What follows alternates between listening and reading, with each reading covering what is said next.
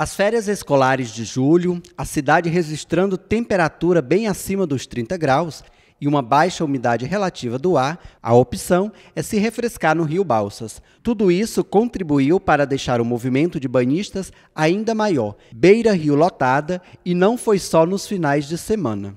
No final de semana, atrações de bandas locais e DJs comandando o som para animar ainda mais quem visita a Beira Rio. Um convite a mais para os balsenses e deixando ainda mais a Beira Rio lotada. Com o objetivo de garantir segurança a turistas e balsenses no verão balsas, as forças de segurança, composta pela Polícia Militar, Guarda Municipal, Departamento Municipal de Trânsito, Corpo de Bombeiros e Marinha reforçaram os trabalhos ostensivos e preventivos, contribuindo para a tranquilidade da população e inibindo possíveis delitos. Após o término do Verão Balsas, o comando da Polícia Militar fez uma avaliação dos trabalhos da Força de Segurança e diz que essa foi uma temporada em que as pessoas tinham a certeza da presença das forças de segurança. Avaliação positiva de agradecimento às forças de segurança que planejaram, prepararam e executaram realmente o policiamento com aquilo que nós tínhamos realizado há três meses atrás. Então é aquilo que nós fomentando. Toda vez que nós planejamos,